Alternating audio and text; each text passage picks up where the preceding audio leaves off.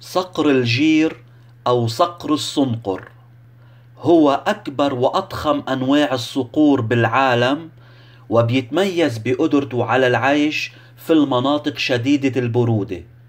الجير طائر جارح ينتشر في النصف الشمالي من الكرة الأرضية خاصة في كندا أمريكا الشمالية غرينلاند وشمال أوروبا وآسيا كذلك في سواحل القطب الشمالي.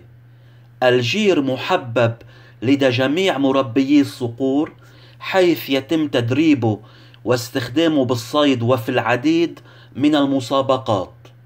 صقر الجير ذو أشكال متعددة تختلف باختلاف لون الريش فمنه الأبيض النقي الفضي البني والأسود ويعتبر الجير الأبيض هو النوع الوحيد من الصقور التي يغلب عليها اللون الأبيض كما أنه الأغلى ثمنا.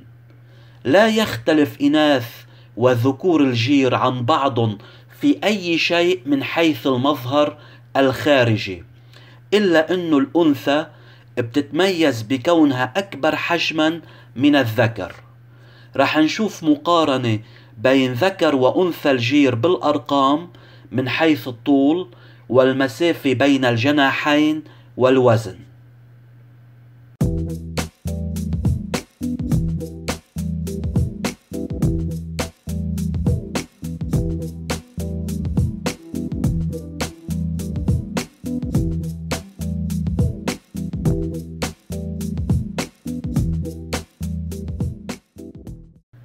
تبني طيور الجير أعشاشها في الجروف وعادة بتستخدم أعشاش مهجورة لجوارح أخرى تضع الأنثى من بيضتين إلى خمس بيضات وتستمر فترة حضانة البيض 35 يوم. بعد مرور ثلاثة إلى أربع شهور على فقس البيض تغادر الصقور غير البالغة العش وتصبح مستقلة عن والديها وتبلغ في عمر ثلاث سنوات. ويمكن أن يصل عمر صقر الجير الذي يتخطى مرحلة البلوغ عشرين سنة.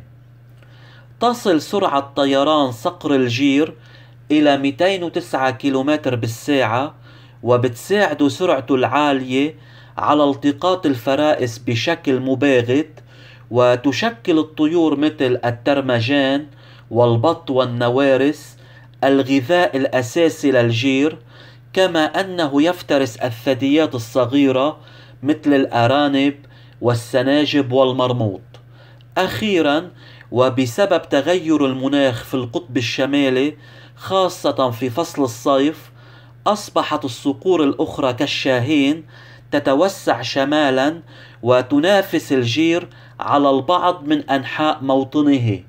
وبالرغم من ذلك فإن صقور الجير غير مهددة بالانقراض. لهون بنوصل لختام الحلقة.